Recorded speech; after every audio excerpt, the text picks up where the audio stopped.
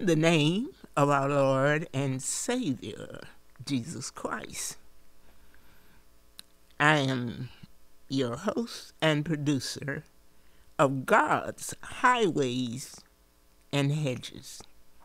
It just gives me a great pleasure as well as a privilege to be here in the studio once again. There's been so much going on in the land all over the world, and it has interfered with the churches. But I believe since God is the one that directs everything, and this is His world, that this is all in His plan. I, I may go a little different from, what I planned because um, I'm been working with my tires and I'm a little bit farther from the studio than I uh, been in the past. Okay. Um I look and I listen to all of the ministries and that's what I love about being an evangelist. I get to see what everyone is talking about. And as God gives me and direct me on his highways and hedges. I would like to send a shout out to Sister Brothers. Uh, she comes on 1480 and she lost her brother. Uh, on, he had a business there on um, W.W. White Road selling cars. Well, God has been really speaking through me. Um, since he gave the lady, spoke through me and gave the lady a kidney, I was so proud of that because when God tells me something and speak through me, I say, okay, God, I am just listening to you, seeing what you're saying, the directions that you're giving. So I was riding in my car, and the Lord said, just spoke through me, and He said, uh, bad news. And uh, I wondered for a couple of weeks or more, you know, you know, I didn't know whether the bad news was coming to me or what, because we do have bad news all over the world. But when Sister Brothers came on her program uh, every Saturday at one o'clock, she started with these words. She said, Bad news today. My brother passed away. Oh, I said, that's what God was telling me. That was going to be the bad news. Well, I was in the process of moving uh, for the last two or three months. I, I've had a car full of my things going from one side of town to the other.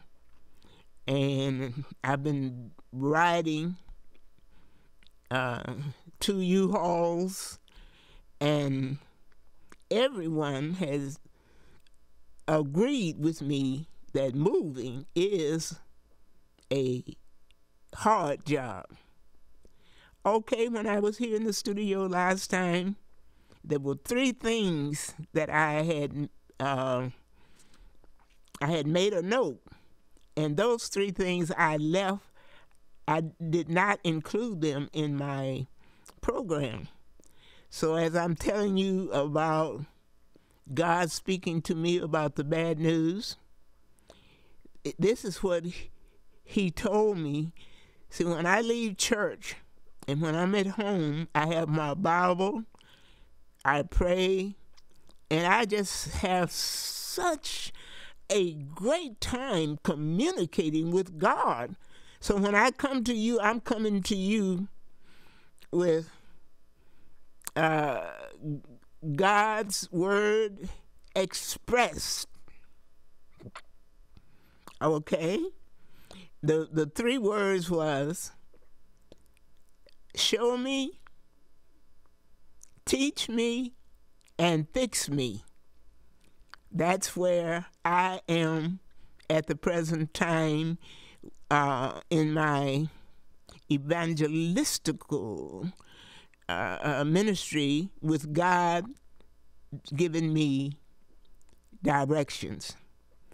And uh, the other thing that God spoke through me was hepatitis.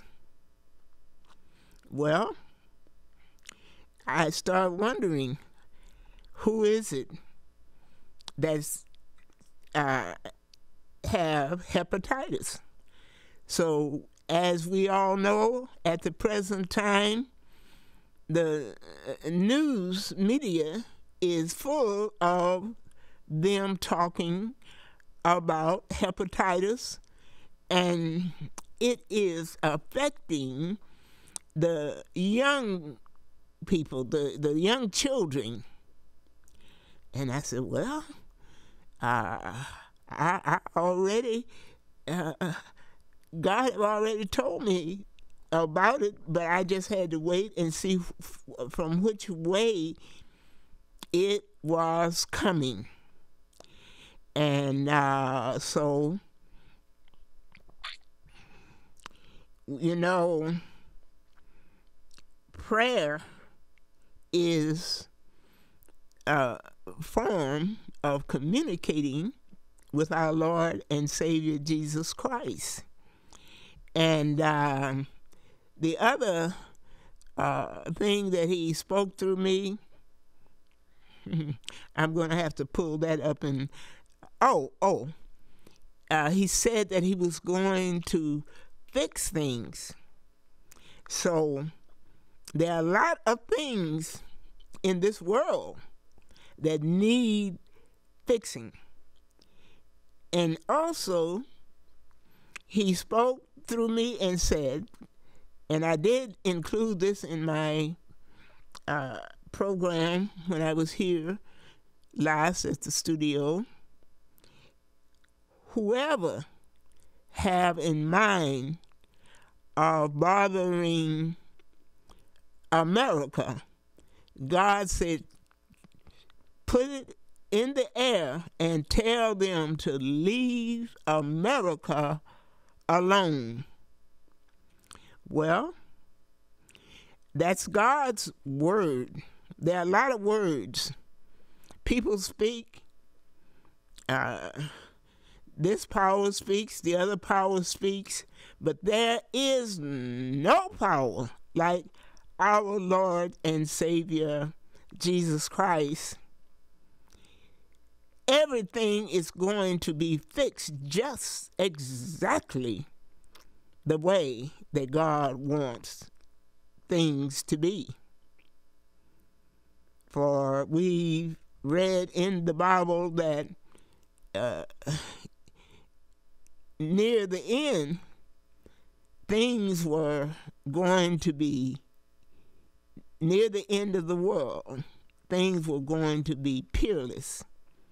And with the COVID 19, uh, and the loss of so many lives, and then we have to be concerned.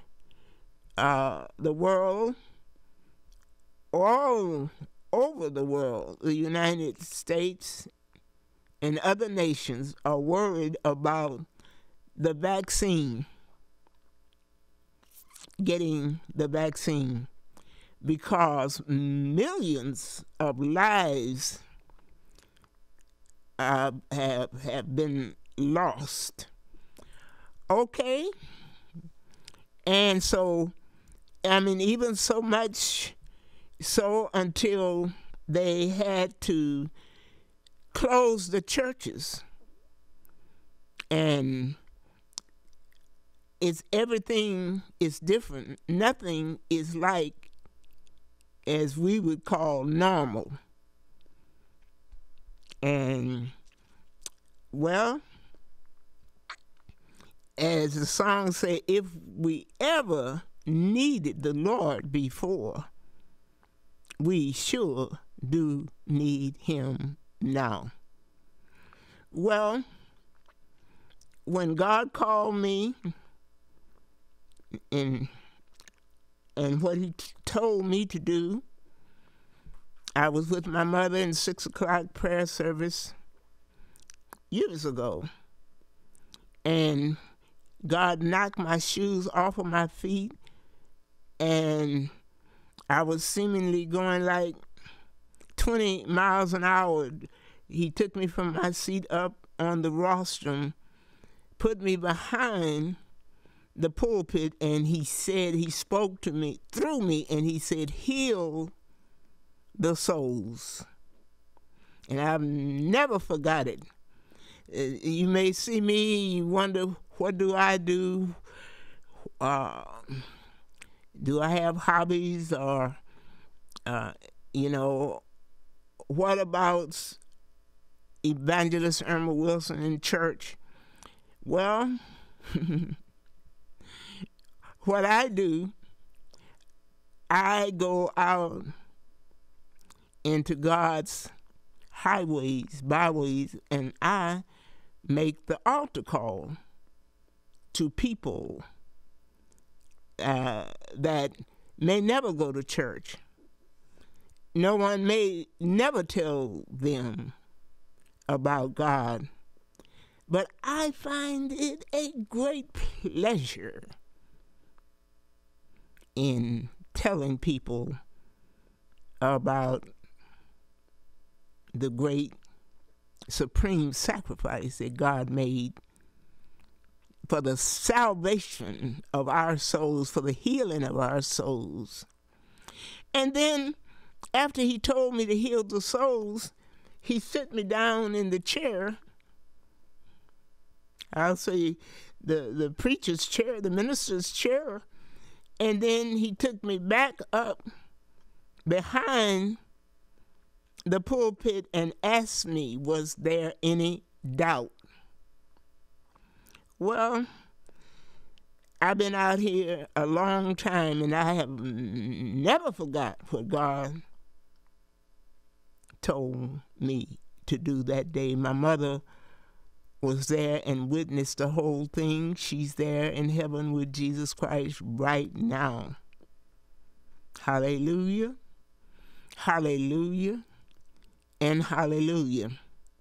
So, this is what uh, I want to say Jesus Christ has showed us the uh, COVID 19, the loss of lives, uh, the uh, invasion of Ukraine, the loss of life there, and it's just all going to go the way that our God wants things to go.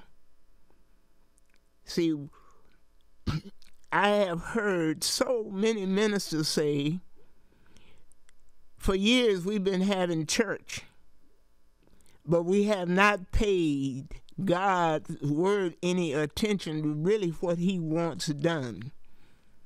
What God wants is souls saved. Well, with all of these things happening, and we we have not experienced this before the COVID. Well, there have been other viruses, but we haven't experienced this COVID nineteen. And uh, I I've had both of my shots and the booster shot.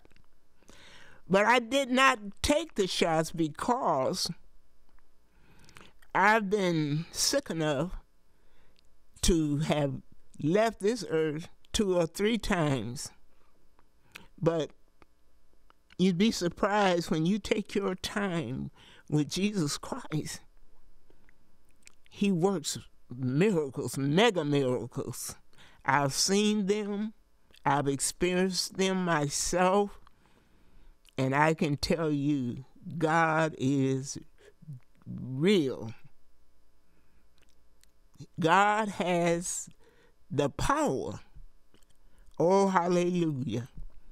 The only power, as uh, I did a show here with uh, the minister that was with me sometimes, um, and uh, when the two Marys, two sisters, brother was sick, and they sent word to Jesus Christ and said, Come, my brother's sick, because they were all very good friends. But Jesus' decision was not to come. His decision was, he said, I'm going to just wait a couple days. Say, because this sickness is for my glory, unto my glory. So when they saw Jesus coming up the road, they said, well, uh, he the, Jesus is our best friend, but we finna give him a piece of our mind. He said, "Well, you you you waited too late. He's dead. We thought you were coming right away." But you see, what we think God is going to do, His ways are different from ours, all the way from the earth to the heavens. But as people they continue to read what Peter, James, and John did. But when I brought to you the last time the 53rd chapter of Isaiah, God wants to be praised. Hallelujah. He told Mary, says, this sickness was for my glory, for God to get the glory. Hallelujah. Hallelujah. Hallelujah. So, well, God, we know that in the end you're going to resurrect everybody from the grave. God says, I am the resurrection. I am He. I am and Jesus Christ. Hakamashanda. Hallelujah. Thank you, Jesus. And so Jesus said, Well, he called Lazarus. And I got I had great pleasure in, in my show because uh, it it said that Jesus moaned, "Oh, Lazarus!" And when Jesus groaned, something is fixing to happen, and it did, because Lazarus shook off those grave clothes. And the power of God with all the deaths, as Mary said, we know that at the end time that you're going to bring everybody forth from the grave. Praise God. So, as we're looking at persons that's dying from the COVID 19, we're looking at the war, the old men, old women, the babies, the children. Hallelujah. We talk about faith. Faith, faith. Hallelujah. In Jesus Christ. Don't you know all God has to do is tell each and every one of them to rise up? Hallelujah. So we don't have to really worry about people that are sleeping and and and because when Jesus Christ get ready, they're gonna all come back. The millions, the trillions, they're coming back. Jesus Christ, when he said, Get up, he had to call Lazarus' name because he had not called his name. everybody would have got up. Hallelujah. But this is what I'm thinking Isaiah 55 8 God's ways are not our ways. His ways are so different from ours, all the way from the earth to the heavens. So when we are reading the Word of God, and we see what he did with all of his servants, we must be still and wait and see what he's going to do in our situations, in our circumstances. Praise God. Now, when you have faith in God, He'll tell you just exactly what to do, when to do it, and how to do it if you let him know, well, God, I know this situation is difficult. I don't know what I am going to do. I don't know what they are going to do. But I want to tell you from God's highways and hedges, God's evangelist, that God is going to do it His way. And His being a sovereign God, He can do anything, anytime He want to do it, the way that He want to do it, whether we uh, agree with his way or not. Just like he showed Mary. At that particular time, Lazarus came forth. Hallelujah. Hallelujah. And when it comes to war and people taking lives, why would you want to take somebody's life and you can't give life? God is the only one, the most precious, miraculous thing that has ever been done is for God to create each and every individual. We are blessed. Hallelujah. Give us activity of our limbs he has provided everything that a human being needs. And I get excited every time I get a good, nice, cool drink of water. Who is it that makes the water?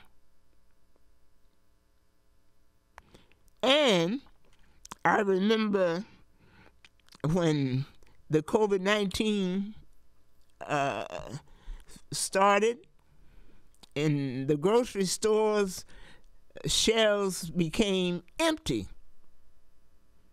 And uh, you couldn't uh, uh, the eggs they were just flying out of the stores. And i said but who is it can make an egg god have to make the chicken so we can have eggs and poor pig hog. Eggs and bacon the, the hog really have to suffer. All the chicken have to do is just lay the egg and and still live.